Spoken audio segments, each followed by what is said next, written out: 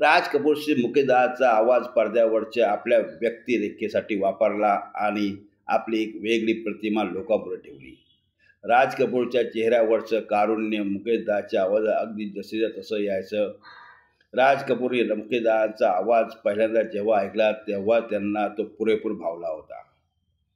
आहा आवारा अनाडी ह्यासारख्या सिनेमामध्ये राज कपूरनी जो सर्वसामान्य माणूस रंगवला आणि त्याची सर्वसामान्य दुःख रंगवली त्याला मुकेशदाच्या आवाजाने अगदी साजेशी साथ दिली. त्यामुळे सिनेमामध्ये राज कपूरची भूमिका ठरली की त्यांच्या पडद्यावरच्या गाण्यासाठी मुकेशदांचा आवाज इथे येणार हे समीकरण ठरले असायचं.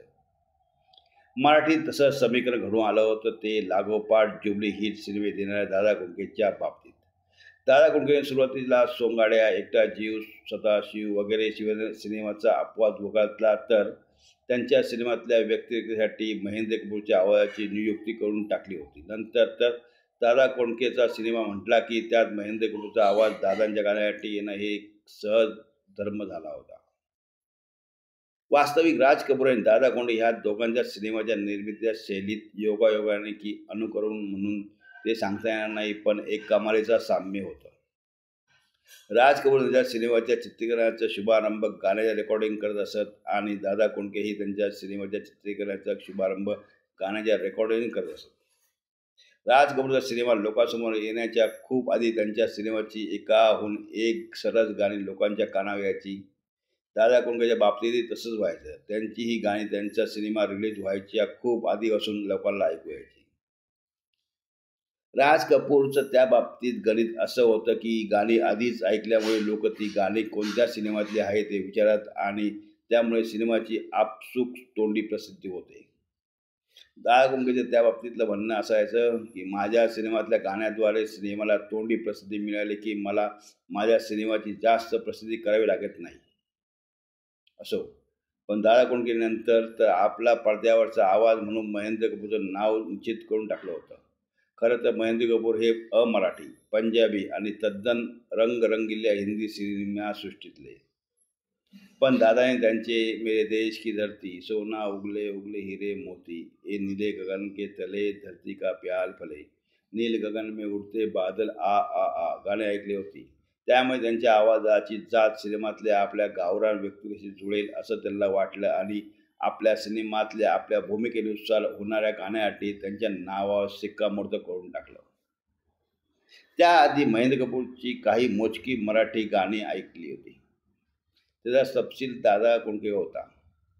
त्यापैकी मधुचंद्रमधलं हे चिंचेचे झाड दिसे मद चिनार वृक्षापल्ली हे महेंद्र कपूर गाजलेलं गाणं दादा कुंकेच्या लक्षात होतं. शिवाय त्या गाण्यातला चिंचेच्या या शब्दाचा उच्च त्यांच्याकडून नीट गोटावून घेतला होता. महेंद्र कपूरचा उच्चार आधी चिंचेच्या असा करायचे याची माहिती दादा होती.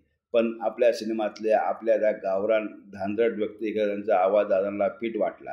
त्याआधी हृदयनाथ मंगेशकरसारख्या कसबी संगीत दिवसाकडे महेंद्र कपूर ती येते आणि जाते येताना कधी कळ्या आणि ते.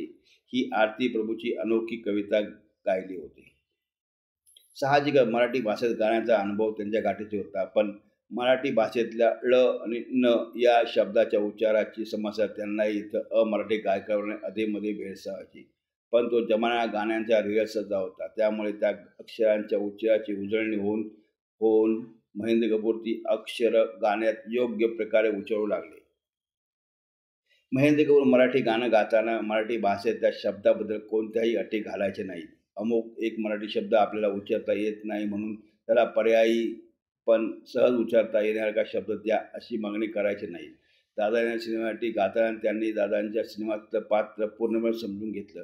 दादांची शायरी पार्श्वभूमी लक्षात घेतली आणि मग दादांची गाणी गाण्यासाठी ते रेकॉर्डिंग स्टुडिओला जात असत गंगू तारुण तुझं बेफाम जसं इश्काचा आयटम बॉम्ब हे गाणं गाताना त्यांनी दादांचा पूर्ण स्टाईलचा न्याय देत हे गाणं गायलं. काशी ग काशी तुझी सवय कशी? जरा हो माझ्या पाशी ग. हे गाणं गाताना दादाने ह्या गाण्यावर अलबेला फेम भगवान दादा नृत्य करणारे हे महेंद्र कपूरला सांगितले होते. आणि महेंद्र कपूरने त्याप्रमाणे हे गाणं सादर केलं.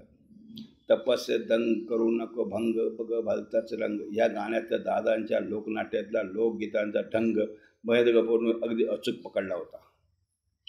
मला एक चॅनल्स हवा या गाण्यात त्यांनी दादांच्या व्यक्तिरेखेकडचा तो इब्लिश भाव अचूक पकडून दाखवला. चल खेळ खेळो दोघं होतो तू तू. ह्या गाण्यातली तुझी तंगडी कधी माझ्या हातात तुझी तंगडी कधी तुझ्या हातात. ही ओळ गाताना महेंद्र कपूरनी दादा मधला रांगडा धट्टिंगणपणा हुबेहूब सादर केला होता. आणि ढगाळा लागली कळप आणि ठेमठेम गळ. ह्या पराकोटीच्या डबल मिनिंग गाण्यात महेंद्र कपूरने दादांच्या आधीच दादांना हवी तशी नखरेल करा करामत करून दाखवली होती. त्या काळात ते गाणं डबल मिनिंगमुळे असेल किंवा कमनीय चालीमुळे असेल पण भलतीच हिट झाली होती. दादा कोणत्या प्रकारच्या रांगड्या आणि मातीतल्या विनोदासाठी महाराष्ट्र मुलकात प्रसिद्ध आहेत हे महेंद्र कपूरनी जाणून घेतले होते. त्याआधी अमराठी गायकाने आपल्या दादाकडल्या मराठी गाण्यातून तो रांगडेपणा अविरत पुरवला. हेच दादा कोंडके आणि महेंद्र कपूर या कलावंत जोड गोळीचे नमक होतं.